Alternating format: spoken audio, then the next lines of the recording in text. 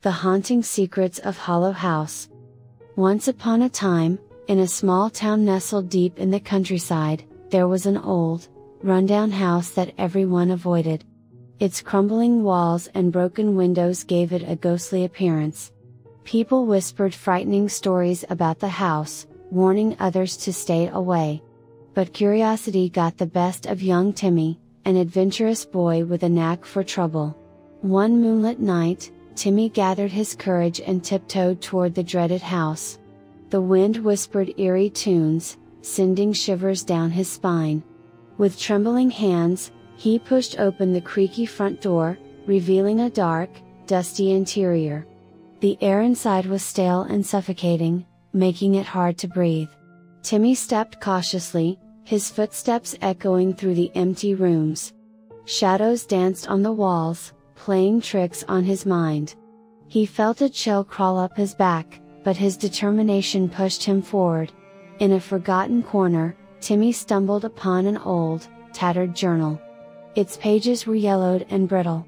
As he leafed through the worn out entries, he discovered horrifying tales of a presence that haunted the house. The writer described strange sounds in the dead of night, objects moving on their own, and a deep sense of dread that enveloped anyone who entered. Fear not at Timmy's insides, but his curiosity burned brighter. He ventured deeper into the house, his heart pounding in his chest. Each step sent echoes through the empty halls, as if the house itself was watching him. In the darkest room, Timmy found a locked door. It beckoned to him, whispering secrets that only the bravest would dare to unveil. He searched high and low, desperate to find the key. Finally, hidden beneath a dusty rug, he discovered a rusted key that fit the lock perfectly. With a trembling hand, Timmy turned the key, unlocking the mysterious room. The door creaked open, revealing a chilling sight.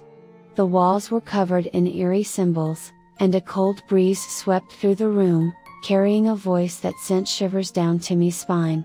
You shouldn't have come, the voice whispered, as if it came from the very depths of the shadows.